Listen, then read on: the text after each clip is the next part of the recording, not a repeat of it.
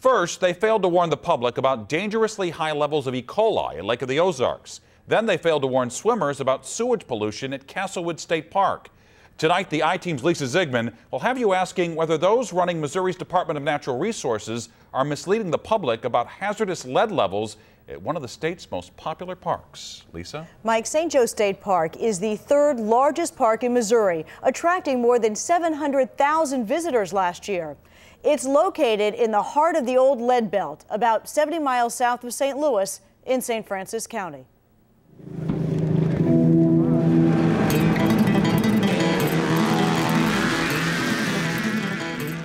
St. Joe State Park is a paradise for many off-road vehicle enthusiasts because of the wide open sand flats.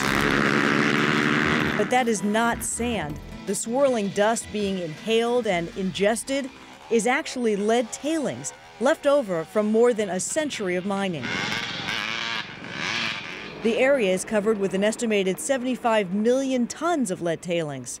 According to the EPA, the only safe level of lead is zero. But recent tests show hot zones at the park. Levels top 1,000 parts per million. The greatest concern is for children, especially those younger than seven. During an, a hot summer day, this area is just one gigantic big dust cloud. Dr. John Martin of St. Louis County loved riding ATVs with his son Alex. He knew there was lead, but figured it was safe because the state's website said it is. When, when you remove lead from houses, you know, they, they seal the houses up and, and vacuum all the particles out of the air. Down there, you know, everybody's exposed to it, even the youngest kids. In 1993, the federal government declared the area a Superfund or toxic site and made it a national priority. While parts of the park have been cleaned up, you're just eating all that dust. The dusty tailings have not. There are motocross events there where they have five, six, seven year old children riding in the dust. And when they're done, they, they look like Pigpen from Peanuts. Martin's nephew Derek tore up the track at a motocross event. You can see the lead laced particles in the air, on his clothes, and by the end of the race, all over his mouth. Honestly, if you went out and rode a bike through it one time, it's probably not a big deal.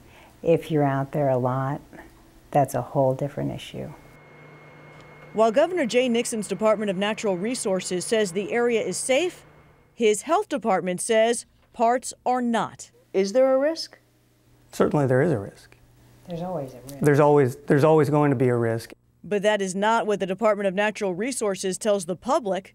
Its website statement on lead issued this year quotes an outdated six year old report saying risks associated with recreational exposures from off road vehicle riding were within acceptable levels. People will read that statement and take it at face value. They'll, they'll trust the state. According to the EPA and Missouri Department of Health, that 2003 risk assessment was flawed because it never considered those most at risk, children under seven.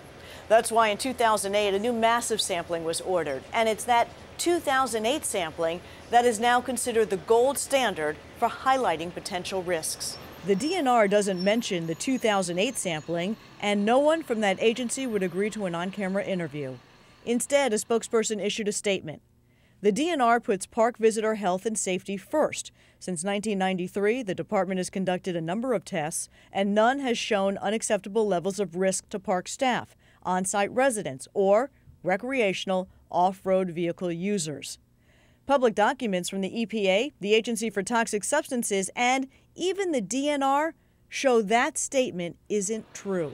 Only after I questioned the accuracy of the DNR statement did it issue a new one, an apparent about face. Studies have shown that occasional off road riding is acceptable, but more frequent riding could subject visitors to unacceptable levels of risk. That is a concern.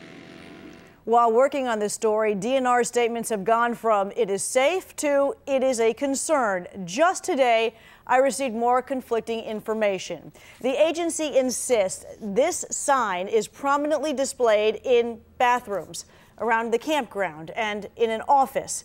We didn't see them, and Dr. Martin says he's never seen one. But what they say is the strongest warning yet. It says there is a risk to children under six and they should not play in the ORV area.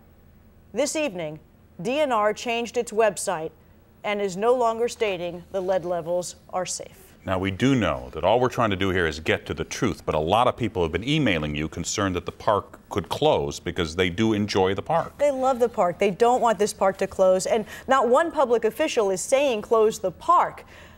All the agencies say they are trying to do is to figure out a way to clean up the hot zones while keeping the park open for everyone to enjoy. EPA has a plan, but it would be up to DNR and the Doe Run Company to pay for that plan. And it could get expensive. Well, it, it could get expensive. They can do nothing.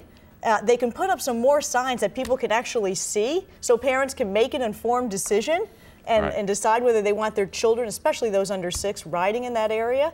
But right now, we're not hearing from them. No one's agreeing to sit down and talk with me. All right, Leisa, thanks very much.